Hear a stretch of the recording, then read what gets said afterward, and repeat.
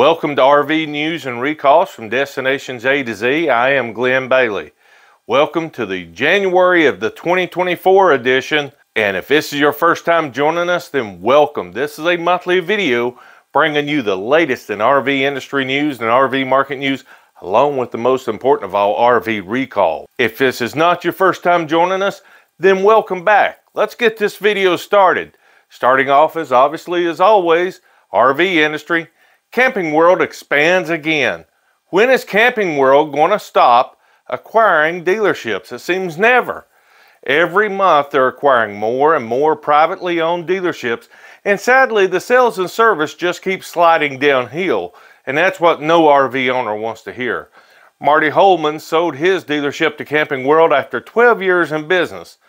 Holman partnered with RV Business Solutions on the sale.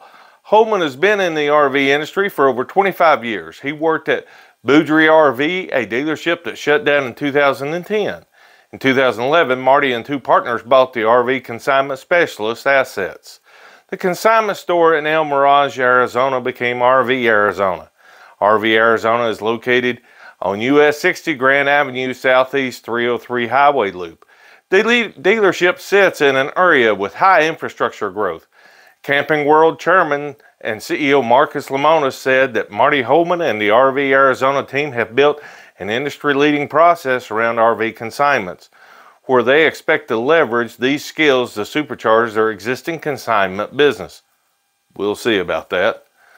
Continuing with the RV industry, last month we brought you the huge drop in the PPI metrics for the wholesale, which indicated that finally it's looking like RVs might be ready to get back to being a buyer's market. Wholesale prices in October posted their biggest decline in three and a half years, according to Bureau and Labor Statistics. This month, the wholesale prices were flat in November after a large decline in October, Bureau and Labor Statistics reported. The Producer Price Index, PPI, a measure of the prices that companies get for finished goods for the marketplace was unchanged after a 0.4 decrease in October. Year over year, the PPI rose 0.9. PPI peaked at 11.5 year over year gain in March of 2022. Good inputs fell from the previous month in two of the four supply chain stages. Stage 4 good inputs measuring the products purchased by industries primarily producing the sold and final demand such as as RV manufacturers rose to 0.1% in November after a 0.4% decline. Overall, stage 4 intermediate demand rose 1.5% year over year, slightly down from the 1.9 year over year increase in October. Good input stage 3 inter intermediate demand, measuring suppliers to stage 4 producers such as RV manufacturers, fell 0.6% in November after a revised 1.9% decline in October. Overall, year over year, stage three demand fell 3.7% year over year. It's a ninth consecutive year over year decline, which is great news for RV buyers. Good inputs for the stage two intermediate demand, measuring suppliers to stage three suppliers, fell 1.4% in November after a revised 1% down decline in October. November's decline is the largest monthly decline since June. Overall, stage two intermediate demand declined 2.4% year over year. Finally, good inputs for stage one demand rose 0.1% in November, revised as a 0.8% decline in October. Overall demand declined 1.5% year over year. That's the eighth consecutive year over year decline. Great news. RV industry continuing. It's almost time for the best RV show in the world again. Yes, that's right. It's time for the Florida RV Super Show. The RV Super Show will feature everything from truck campers to $3 million Prevosts and mules. If you're looking about getting into an RV, then look no further as most brands and models will be here on full display for your viewing pleasure beginning on January the 17th through the 21st. Each ticket entry will get you in for two days, and trust me, you're going to need it.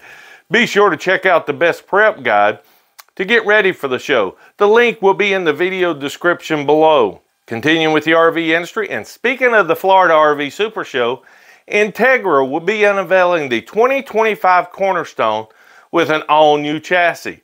For the first time in Entegra history, they will offer the Cornerstone with either a Spartan K3 or a Freightliner chassis. Yes, you heard it correct here on Destinations A to Z RV News and Recalls. They will be offering a Freightliner chassis now as one of the options. Entegra Coach Director Product Development Pat Carroll said as a result of the unprecedented sales combined with having retail customers asking for Freightliner on, our, on their rear engine models, we have listened and responded with a new option at, with an SL chassis. The SL chassis has a 20,000 pound towing capacity and independent front suspension. Freightliner's V-Ride rear suspension reduces body roll. Ultra Steer Precision tuned tag axles reduces turning radius by up to 17%.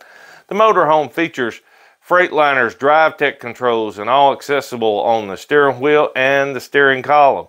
An OptiView all digital display. The features are included in Entegra's SafeView dash and Road Watch safety suite.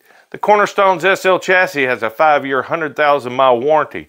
Over 450 locations in the U.S. and Canada can service the chassis. Entegra will reveal the 2025 Cornerstone at the public, the booth 760 at the Florida RV Super Show, Florida in Tampa, Florida, January the 17th through the 21st. And yes, we are going to be there to bring you that video as well. Continuing with the RV industry, Fleetwood RV is launching a new line of Type B Mercedes-Benz motorhomes, a first for the legacy Type A manufacturer. Fleetwood RV product manager Doug Miller said that the Excursion brand Type B offers travel flexibility and convenience to consumers whether they have been beginning their RV journey or downsizing from larger models. Excursion's smaller size is easier to store for many customers than Rev Group's traditional offering. Their end goal is ultimately to is that the right consumer finds the right product and really enjoys it for the life of their ownership. And if they can create the environment in which they can do that, then they feel that that has been successful. The model has four floor plans. The AL2 floor plan, which is built on a Mercedes-Benz Sprinter, 144-inch wheelbase. Miller called AL2 Fleetwood's new adventure floor plan. It's built to drive off-road with all-wheel drive roof rack options. The second is the SL2, built on the larger 170-inch wheelbase. The two other floor plans, the SL2E and the SL4E, are built on the 177-inch wheelbase sprinters and include extra seating. Excursion has four different exteriors, silver, arctic white, gray, and stone. Interior color options are graphite with repose gray cabinets or stone with khaki cabinets.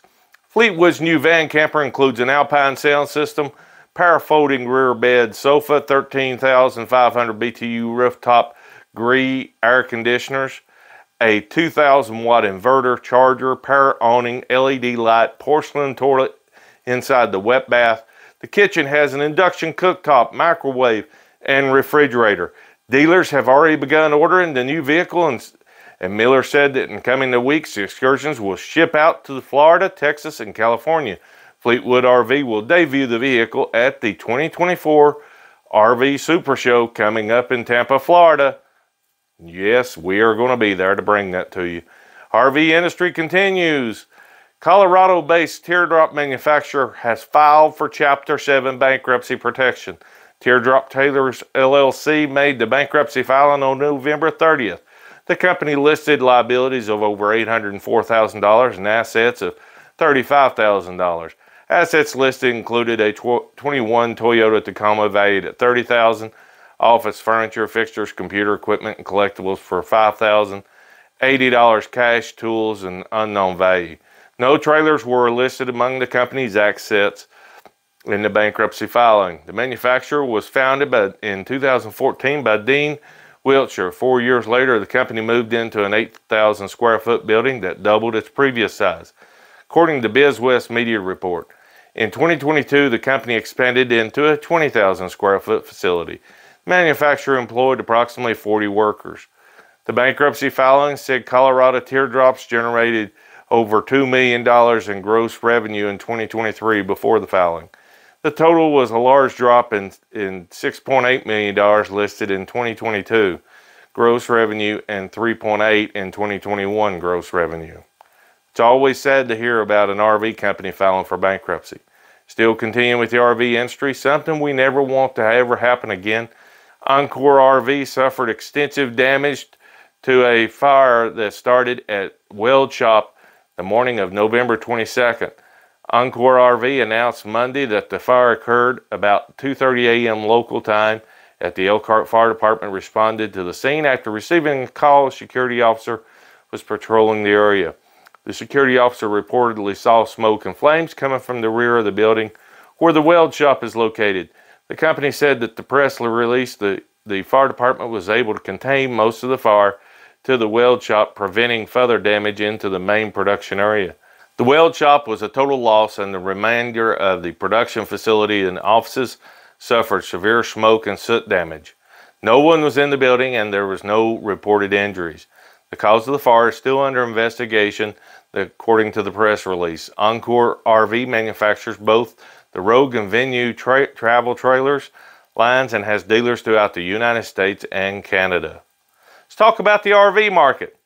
For the first time in 18 months, RVIA reported wholesale shipments increased compared to the same month a year earlier.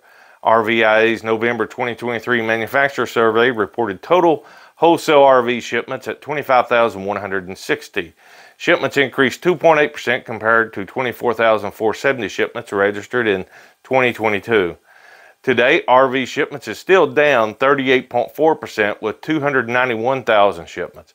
RVIA President and CEO Craig Kirby said coming off of the holidays, they are encouraged by the reports of the increased RV vacations and campground reservations throughout the winter months. Towables were up 4.4% from November with 21,429 shipments. Motorhomes, however, were down at 5.4% at 3,731 compared to November of last year. As we enter 2024, there are signs pointing to increased RV shipments and retail sales, according to Kirby. Particularly in the latter half of the year, RV usage remains high and expected to be improvements to the macroeconomic environment this year, especially with interest rates coming down, hopefully. It's time for the RV Resort Spotlight this month, and it's Silver Palms RV Resort in Okeechobee, Florida. Sitting just a quarter mile north of the beautiful Lake Okeechobee and only an hour away from the beautiful Atlantic beaches, Silver Palms RV Resort offers a getaway to the breathtaking scenery of Central Florida and the Everglades. Their luxury RV resort offers spacious RV sites, lots, cottages, with exceptional amenities for your vacation lifestyle. Situated on 90 acres alongside the Wetlands Preserve, their resort is surrounded by picturesque lakes, wildlife, walking trails, and it's a destination for fishermen, boaters, hikers, birders, cyclists, and with luxury, sophistication, and the style for the fun-loving community, it's the perfect place to relax, escape, and adventure on. The amenities include an outdoor heated pool, hot tub, poolside bar and grill, clubhouse with billiards room, library, exercise room, card room, game room with cards and boards games, bark park for your furry friends, pickleball tournaments, all concrete and paver sites, full hookup, water, sewer, cable, and Wi-Fi, tennis courts, basketball courts, shuffleboard courts, planned activities with an activities director, live entertainment, fitness classes, craft activities, water aerobics, lake access, yes, within walking distance to the grocery store and a shopping plaza. A link will be in the video description below. Be sure to let them know you've seen them here on Destinations A to Z. Let's talk about RV interest rates. January had a tick up even though the Federal Reserve didn't raise rates. These are historically high interest rates and thus affecting the RV market. INET was the lowest at 6.24. However, they now have raised to 7.49. The new lowest is 6.99 at IFG and Great Lawn RV. The Federal Reserve is saying that rate hikes are now done for the prime rate. It looks like that there might be a rate cut coming to the prime rate in March or May of 2024. My recommendation is to hold off until that time to purchase an RV. It's time for the Destinations A to Z video spotlight. This month, it's talking about getting prepared for the best RV show in the world in Tampa, Florida. That's right, the Florida RV Super Show. In this video, we will let you know everything you need to know prior to going to the show, including the best way to get tickets and where parking is located. A link to the description will be in the video description below. It's time for the RV YouTube channel spotlight. This month, it's Happy Travels Life is this month's channel spotlight. They are Sam and Lexi. They travel around the U.S. in their travel trailer, seeking out incredible experiences to share with you. Their goal is to inspire more people to follow their dreams and enjoy life while you can. Their common statement is do what makes you happy while you're able to do it. Be sure to check out their channel and let them know that you've seen it here on Destinations A to Z. A link to their channel will be in the description of this video below. It's time for the most important thing, RV recalls for 2024. Yes, they've had a significant drop. There's only three recalls this month, if you can believe it. And yes, you can link out to those in the video description below. No need to actually remember what I'm saying. Grand Designs RV, reverse plug blade on electrical outlet. Electrical outlet failure can cause a fire. Total number of units affected is 1,011.